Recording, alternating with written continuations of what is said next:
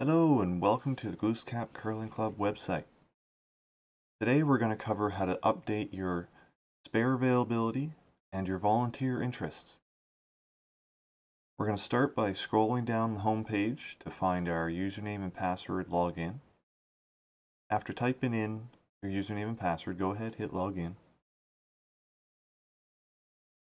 Then we're going to head up to the members home menu right here I just want to make sure that uh, if you're on mobile or a smaller screen device, the home menu is going to be this blue icon here.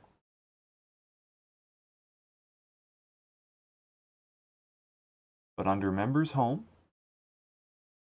under Member Information is where we can find My Volunteer Interests and our subbing availability.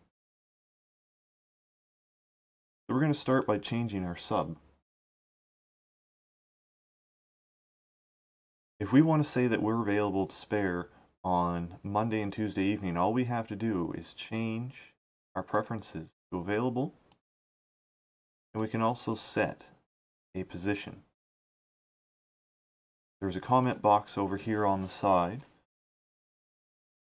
for any comments that you want to leave people when they go to find a spare.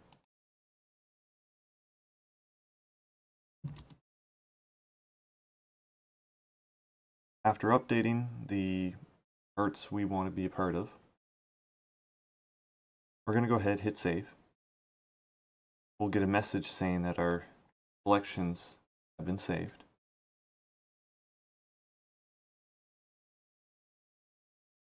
So now we're available to spare Monday and Tuesday evenings. If we ever want to undo that, all we have to do is simply check the not available boxes and hit save again.